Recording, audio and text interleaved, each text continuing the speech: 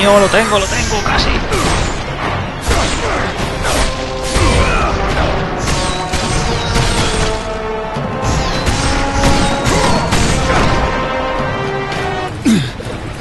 Recuerda, Kratos. Fui yo está, quien tengo. te salvó cuando Ah. más lo necesitabas. Fin. No lo he olvidado, Ares. Recuerdo cómo me salvaste. Aquella noche. Trataba de Por convertirte en un gran guerrero. Y lo conseguiste. ¡Cha! ¡Ole! ¡Qué épico! ¡Qué épico!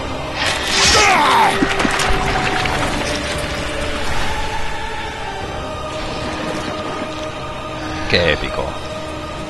¡Y lo conseguiste, chasca!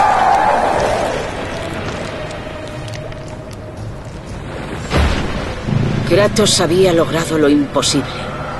Un mortal había derrotado a un dios.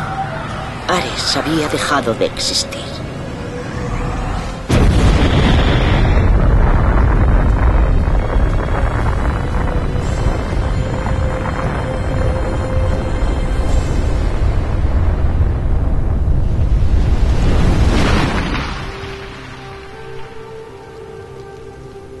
La ciudad había sido salvada y volvería a prosperar. Bueno, sí. Salvada... No podía decirse lo mismo de Kratos, pues aunque buscaba reconstruir su alma con la ayuda de los dioses, la verdad le fue revelada. Atenea, líbrame de los recuerdos que aún me atormentan. Lo has hecho bien, Kratos. Aunque lloramos la muerte de nuestro hermano, los dioses están en deuda contigo. Te prometimos que perdonaríamos tus pecados, y así lo haremos. Pero nunca te prometimos que te libraríamos de tus pesadillas. No hay hombre ni Dios que pudiera olvidar los actos terribles que has cometido. Ah, amigo, los matices. Te jodes. Al final, consciente de que las visiones de su pasado nunca le abandonarían, Kratos se dirigió hacia los acantilados sin reparar en el mar Egeo. Los dioses del Olimpo me han abandonado.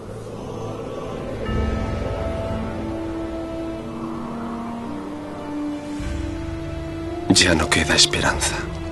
Adiós. Y Kratos se lanzó al vacío desde la montaña más alta de toda Grecia. ¿Pero para qué desde la más alta? Para Tras pensar diez durante más años de tiempo. sufrimiento, diez años de interminables pesadillas, que finalmente llegarían a su fin. La Están muerte locos era su única salida de la locura. Locos, locos, todos los griegos.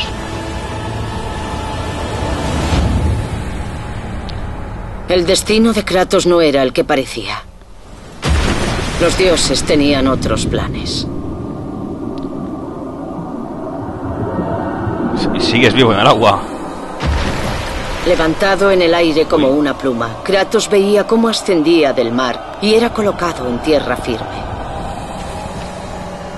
No morirás hoy, Kratos. Los dioses no pueden permitir que alguien que les ha realizado tan gran servicio se quite la vida. Las tácticas de Ares eran crueles. Su sendero de destrucción tenía que ser detenido. Pero ahora hay un trono vacío en el Olimpo. Y debe ocuparlo un nuevo dios de la guerra. Sube por estas escaleras, Kratos. Te llevarán a tu recompensa definitiva.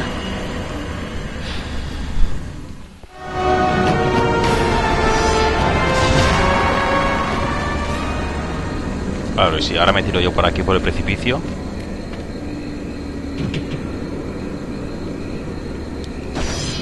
A ver. Eh, no me dejan.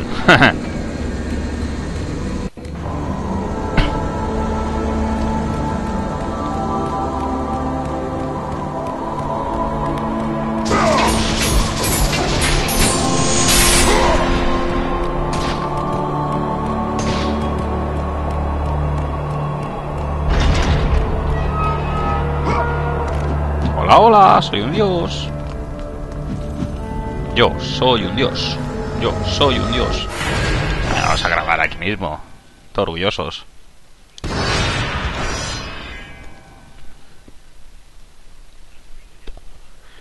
Teniendo en cuenta la noche que he tenido, me cago en todo. Puedo decir me cago en mí, ahora soy un dios.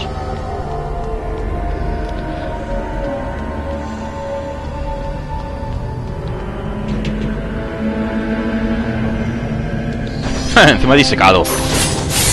Qué grande. ¿Tú qué eres? Ah.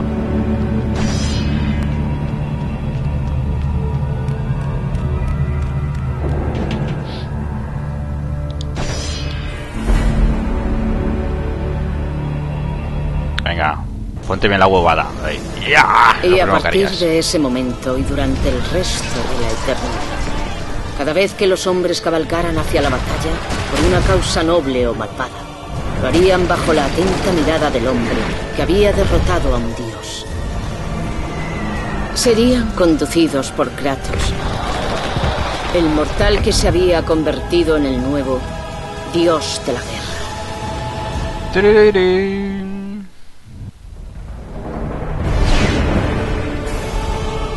Gracias.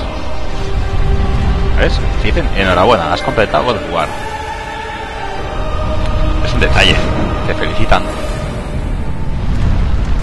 Sí, ahora, ahora, ahora voy.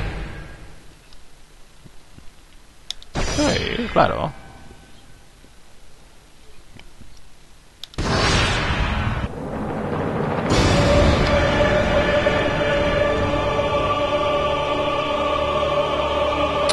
Claro, esto estaría bien si, fuera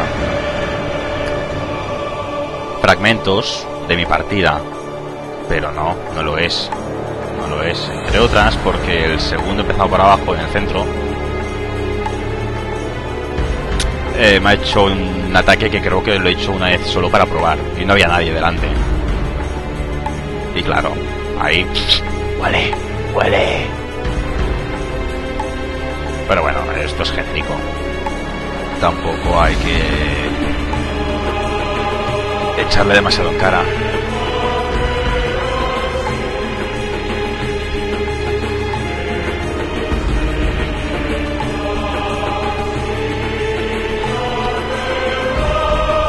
Y vaya cambio en comparación con el Fable 3, por ejemplo. Los créditos. Aquí van todos rapidito, pim pam, pim pam, pim pam. Y al menos, pues bueno, están las imágenes ahí de fondo para ah, distraerte un poquito.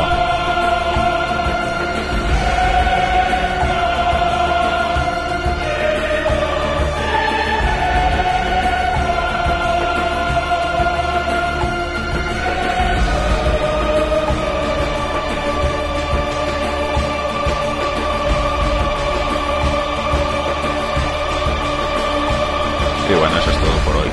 Sobre, sobre todo para mí. Eh, gracias por vuestra compañía y nos vemos próximamente en la segunda parte de, de God of War. Seguramente grabé alguna guía antes, pero próximamente la segunda parte y después la tercera. Hasta luego.